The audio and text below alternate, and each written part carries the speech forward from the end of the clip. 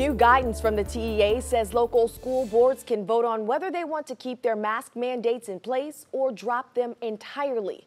The middle of the week decision has led to lots of difficult discussions. Absolutely. 12 News reporter Jordan James is keeping tabs on things for us tonight. He's live with reaction from parents and also the alarm that one teachers group is sounding.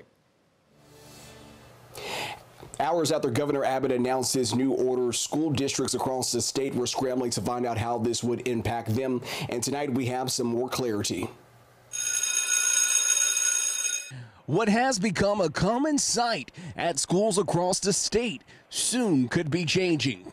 I was definitely disappointed. New guidance from the Texas Education Agency will now allow districts to decide whether to keep their mask mandate in place after Governor Abbott rescinded the statewide order, causing concern for Port Neches Grove parent April McBride. PNG does not allow virtual, so that's why it's been hard for me mentally all school year with the mask mandate in place, and now for is a, for it to be a possibility that they don't have to wear it is very exciting.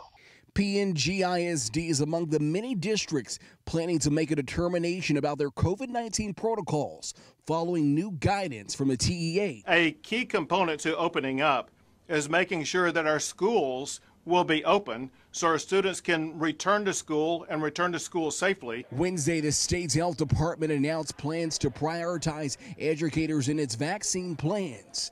While the news has been celebrated by many, one of the state's top teacher unions is calling on more to be done to protect educators. We have to. We don't have the majority of our population vaccinated. We're glad that we're getting more vaccines in, but the reality is that even if um, the adult population gets fully vaccinated, uh, we're still going to be in classrooms with students that do not meet the criteria. With COVID 19 still a lingering threat, McBride hopes that others understand the importance of masking up. So if I have a mask on and I have two people around me that don't have a mask on, I still can catch COVID and then have a chance of bringing it to somebody else.